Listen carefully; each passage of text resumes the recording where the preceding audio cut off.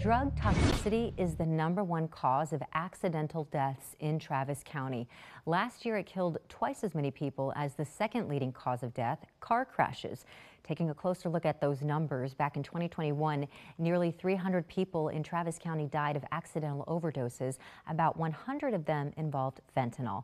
Last year, those numbers jumped to over 400 overdoses, with close to 250 involving fentanyl. The age group most impacted 31 to 40 year olds who accounted for about 100 of those deaths. Men continue to account for the majority of accidental drug related deaths.